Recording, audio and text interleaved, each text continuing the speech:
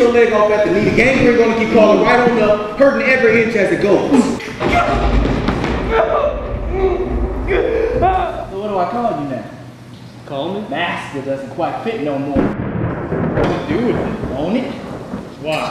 Because I can't. To kiss my man to pay I that. changed my mind.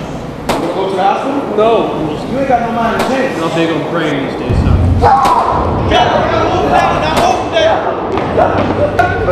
Please don't do this. Please don't fucking do this. Son, son, son, son, you go.